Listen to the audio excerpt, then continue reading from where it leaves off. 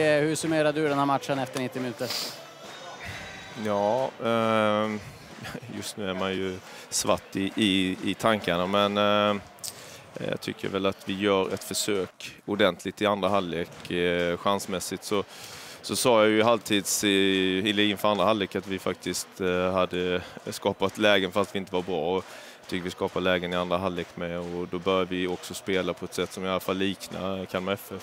Killarna löper och killarna tar dueller. Och det är ju så vi ska spela hela tiden. Um, sen är Örebro ett bra lag och jag, jag gillar sättet de uh, hanterar matcher. Va? Men uh, andra halvlek är eh, uh, någon, någonting vi i alla fall kan uh, känna att vi, vi gör det vi ska jag säger bara Östersund för jag förstod exakt vad du menar där. vad sa jag? Du råkar säga Örebro men vi förstår alla, vi förstår alla vad du menar. Så, ja, så kan fan, ingen, gör, ingen kan göra sig lustig på din bekostnad för det. på slutet. exakt. Ja, men du ja. Henrik... Eh, Örebro är bra de också. Exakt. Eh, men du Henrik, jag måste bara fråga, för ändå när ni kom ut i den andra halvleken kändes lite grann som det var lite mer intentioner i början. Vad sa ni till varandra inför paus, eller efter, i pausen?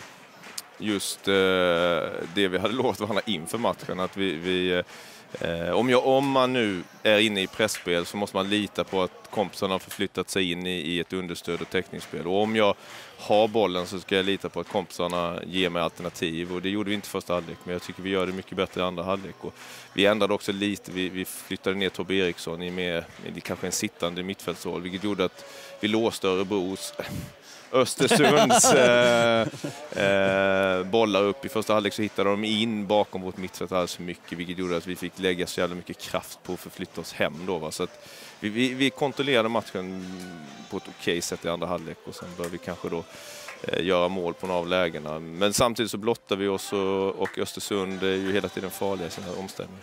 Eh, jättekort bara också, hur är det med Antonsson? Jag såg att du fick ta av honom. Ja, han hade en känning i, baksidan och eh, vi kunde inte riskera något där. Så att, det var en säkerhetsåtgärd. Misstänkte det. Du, tack så mycket för Henrik.